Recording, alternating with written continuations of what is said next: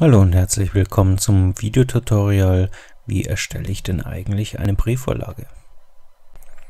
Um eine Briefvorlage zu erstellen, müssen wir hier einfach erstmal die Seitenränder definieren. Die Seitenränder haben wir ja im vorhergehenden Video gesehen. Oben sind die 5 cm, links 2,5, unten einer und rechts 2. Das äh, stellt man hier bei Seitenlayout ein.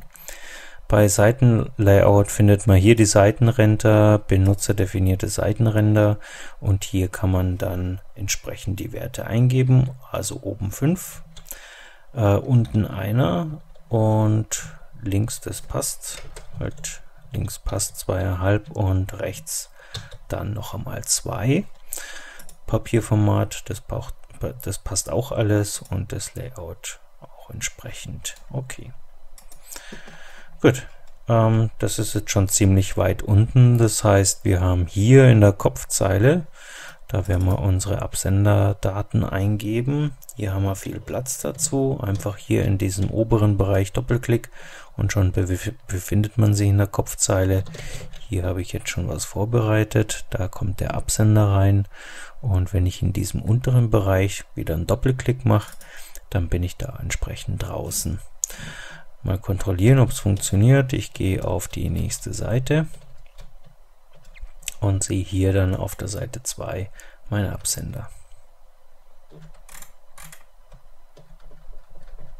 Gut, ähm, die ersten drei Zeilen sind äh, für die Versendungsformen äh, vorgesehen. Die eigentliche Empfängeranschrift kommt dann erst ab der Zeile 4.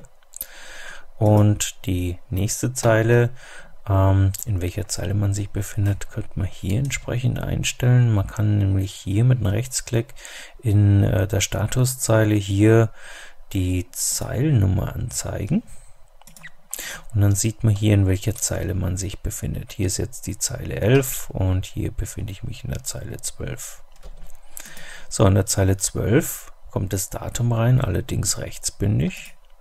Und hier habe ich mehrere Möglichkeiten. Entweder ich schreibe das Datum einfach so rein oder ich sage einfügen, dann Schnellbausteine, Autotext oder Feld.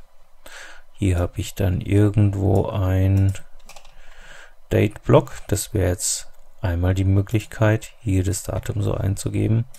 Oder ich kann aber auch sagen, ähm, Datum, Uhrzeit da komme ich schneller hin.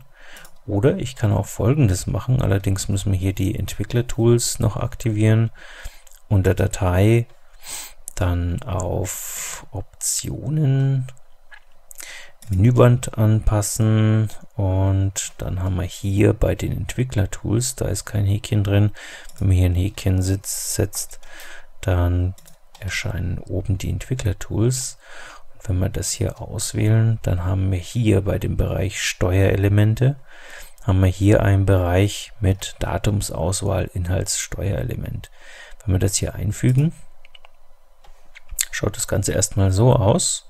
Und wenn man hier jetzt entsprechend draufklickt, dann hat man hier ein äh, Kalenderfeld. Man könnte hier also sagen, heute, dann ist sofort dieses Datum drin. Man könnte aber auch sagen, äh, der Brief war gestern oder nächste Woche und das Datum ist drin. Diese graue Umrandung verschwindet dann auch.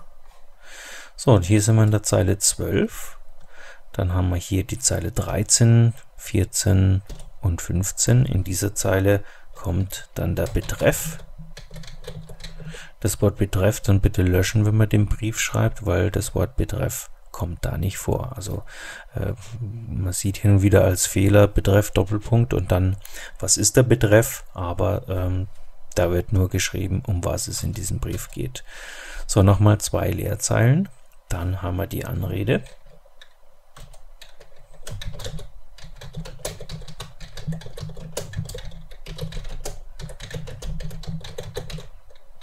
Hier kann man auch dann später in, äh, entscheiden, möchte man allgemeine äh, Anrede haben oder spricht man jemand bestimmten an, dann schreibt man sehr geehrter Herr, sehr geehrte Frau. So, dann kommt noch eine Leerzeile. Hier kommt dann der eigentliche Brieftext und hier kommt dann freundliche Grüße und dann wäre der Brief hier zu Ende. In diesem Bereich hier unterschreibt man. Bei dem Brieftext einfach doppelt draufklicken und entsprechend den Text schreiben. Ja, dann äh, brauchen wir noch das Empfängerfeld. Das machen wir am besten mit einem Textfeld. Ich hätte hier oben schon in der Schnellstartleiste eins definiert. Man macht das aber hier unter Einfügen. Formen, da hätten wir einmal die Möglichkeit, ein Textfeld einzufügen. Oder es ging auch hier, Standard-Textfeld. Oder hier unten haben wir auch nochmal die Funktion Textfeld einfügen. Ich mache mal hier das einfache Textfeld von Word.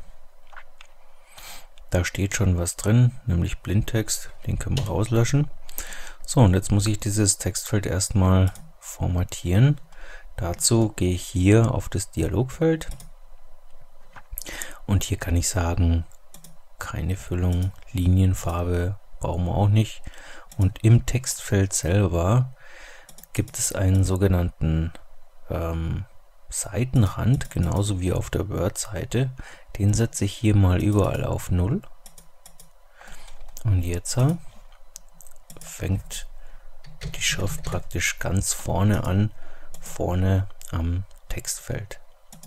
So, das Ganze ist insgesamt neun Zeilen groß. Und jetzt muss ich noch das Textfeld entsprechend ausrichten. Das heißt, es geht hier unter Größe, Dialogfeld und hier Position.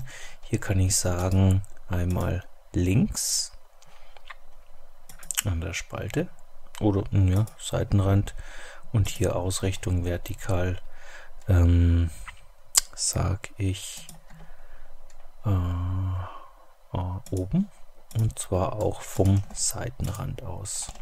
Und hier habe ich jetzt genau dieses Textfeld hier drin. Was wir noch machen müssen, ist verankern, damit sich das nicht doch irgendwie verschieben kann. Äh, hier kann ich hergehen, nochmal bei Position, dann sage ich hier verankern und hier diese Häkchen müssen überall heraus sein. Und jetzt kann sich hier auch nichts mehr verschieben. Die Absatzmarken, die blende ich mal aus und hier kann ich jetzt entsprechend mein Textfeld erweitern, die Adresse reinschreiben, ohne dass mir hier unten die ähm, Zeilenabstände verrutschen. Ja, fertig ist die Briefvorlage.